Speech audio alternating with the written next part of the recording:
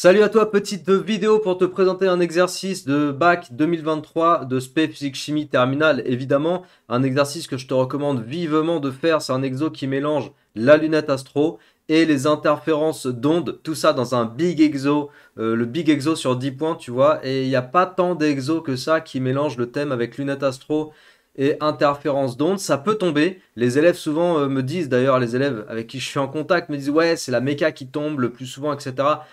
Tu peux faire des calculs de ce style, mais si tu tombes sur un exercice comme lui, qui est un exercice, encore une fois, un vrai exo du bac 2023, il n'est pas tombé en métropole, mais ça aurait pu sans aucun problème. Si tu tombes sur ce genre d'exo, exo sur 10 points, et que là, ça va mélanger de la lunette astro et des interférences, et que tu n'es pas prêt à ça, ça peut être un peu compliqué. Bref, l'exercice, en fait, le sujet, tu vas voir, comme, euh, je te dis, c'est un bel exo.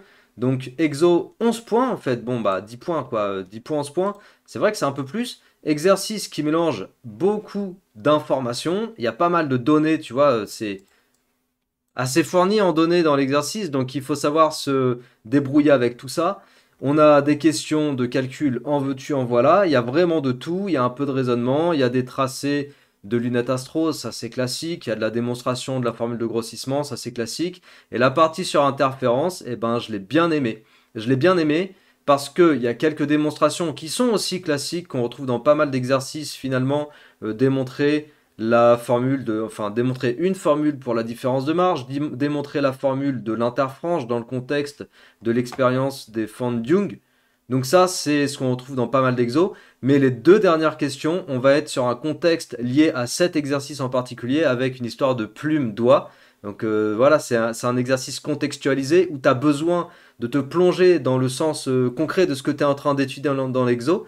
Et avec ce, sens concret, eh ben, on, va aller chercher, on va aller chercher à démontrer quelque chose ou à retrouver des propriétés de la plume.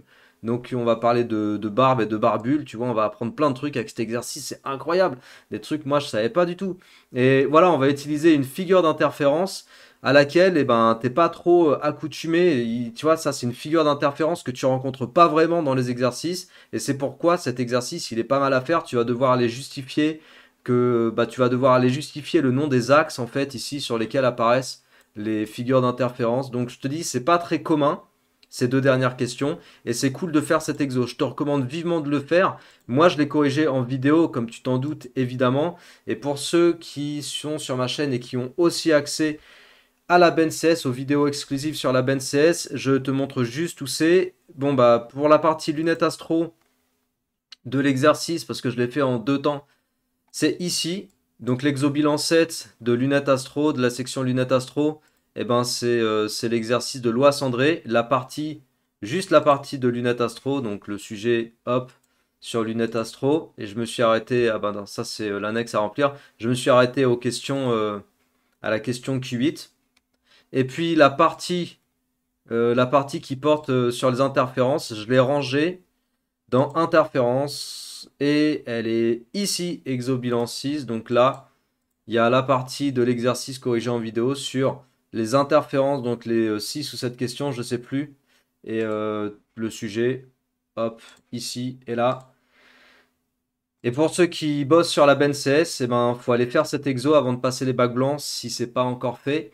Et de toute façon, il faut bosser avec cet exo, quoi qu'il en soit, pour réviser ton bac, parce que, euh, comme je t'ai dit, si tu tombes sur un exo de ce style au bac, il vaut mieux savoir manier ce genre de truc, tu vois. Et, pour la question, euh, comme je t'ai dit tout à l'heure, pour la question, euh, les questions genre Q14, Q15, et eh ben là, ça, c'est bien de s'entraîner avant euh, de, découvrir ce genre d'exobac. C'est bien de s'entraîner avant avec des exercices d'entraînement comme ça pour te dire, ok, ce genre de questions, je peux les avoir. Ah ouais, on peut me demander ce genre de trucs. Voilà, pour pas découvrir. Et d'ailleurs, et j'en ai parlé quand j'ai fait la correction en vidéo, tu vois, le contexte d'être dans, dans, une situation très particulière, très liée à l'exercice, ça m'a rappelé un peu euh, cet exercice-là, là. Maille d'un masque Bac 2022. Celui-là, je crois que cet exo, il est accessible pour tout le monde parce qu'il est sur YouTube. Donc il est aussi sur la Ben16. Tu pourras le retrouver ici si tu veux. Même si tu n'es pas abonné, tu vas pouvoir aller voir cet exo sur la Ben16 si tu as envie.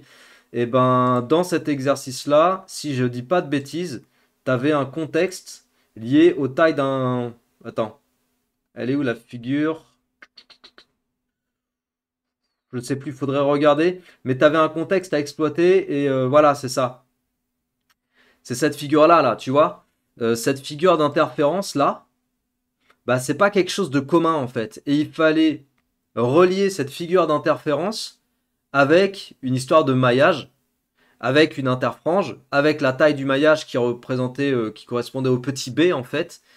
Et ce genre de choses, eh ben, t'es pas que dans l'expérience des fans de Dune, t'es dans un, un contexte un peu plus spécifique où on utilise des interférences pour retrouver dans cet exercice la taille d'un maillage ou pour retrouver dans cet exercice les caractéristiques des dimensions euh, d'une plume, tu vois. c'est ça en fait qu'on retrouve dans les questions Q14, Q15, on retrouve B barbule et B barbe.